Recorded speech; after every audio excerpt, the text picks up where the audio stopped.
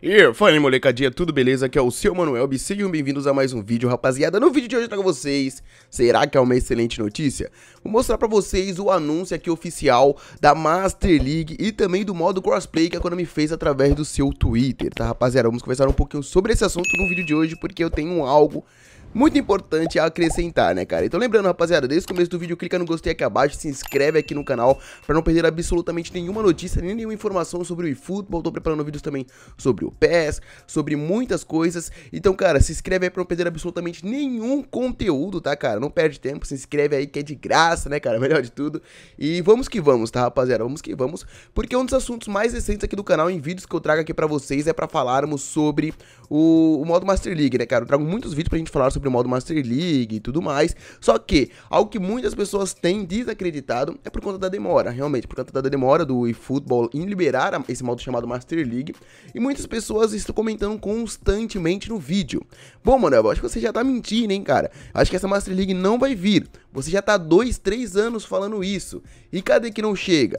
Bom, rapaziada, eu simplesmente vou trazer para vocês aqui nesse vídeo o anúncio oficial, tá? Oficial, estou falando de oficial, não partiu de mim e não partiu de outro youtuber, partiu por parte da Konami, da Master League e vamos analisar ele com vocês, tá, rapaziada? Vamos analisar ele com vocês, porque ele explica sobre a Master League, fala como vai funcionar esse modo, fala sobre o modo crossplay, que infelizmente ainda não chegou, né, cara?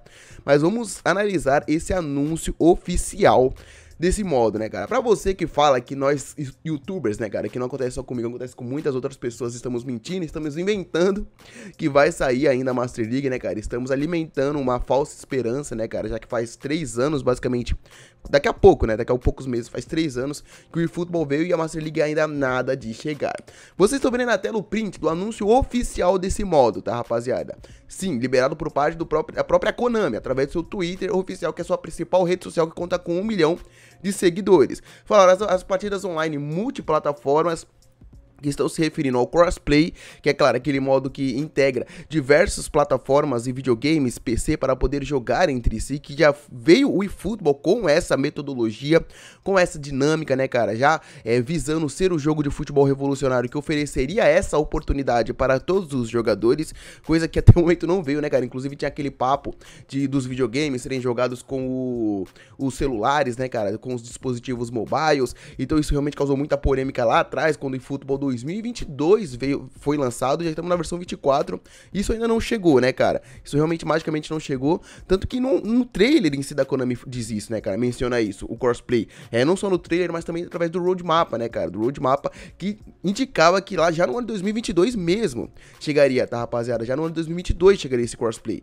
Até o momento não chegou e prosseguindo, serão aprimorados ainda mais com um novo mecanismo e ajudados para aproveitar totalmente a vantagem de cada plataforma. Ou seja, é, disse que mesmo com o cross-platform, o crossplay, é, é, é, ele seria ajustado para se ajustar melhor para cada plataforma. Ou seja, se você estivesse jogando no celular contra uma pessoa que estivesse jogando no videogame ou vice-versa, você não perderia tal experiência, né, cara? Se o jogo não é, derrubaria, né, cara, de qualidade ou coisa do tipo, para poder rodar com os celulares. Além disso, modos offline, como a Master League, serão vendidos no futuro como DLC opcional em todos os dispositivos compatíveis. E o que eu mostrei pra vocês agora foi o anúncio oficial da Konami através do seu Twitter oficial, tá, rapaziada?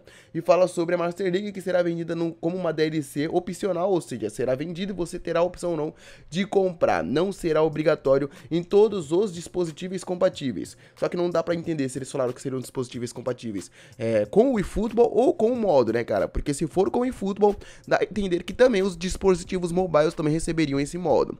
Só que eu decidi resgatar esse, esse anúncio, tá, rapaziada? Porque infelizmente esse anúncio não aconteceu agora, tá, rapaziada? Aconteceu, vamos mostrar a data, simplesmente no dia 22 de julho de 2021. Cara, já tem quase três anos. Daqui a cinco meses vai fazer três anos que esse post foi anunciado através das redes sociais oficiais da empresa. E o jogo ainda não conta com nenhuma das duas coisas que é mencionado nesse post, né, cara? E eu, eu realmente já tava começando até a desacreditar de mim mesmo, né, cara? Eu falei, cara, será que esse anúncio aconteceu? Porque já faz tanto tempo. E a gente tá tanto tempo conversando sobre isso. E a gente. É, para poder buscar um pouquinho não é tão difícil de achar, né, rapaziada? Não só esses anúncios, como outras promessas que a Konami também fez não é 2021, de 2022, de 2023, que não chegaram nem agora em 2024. Então sim, rapaziada, simplesmente isso mostra que sim, teremos de fato a Master League, já está pronta, e de tudo que eu estou trazendo para vocês nos últimos vídeos são mais do que verdades.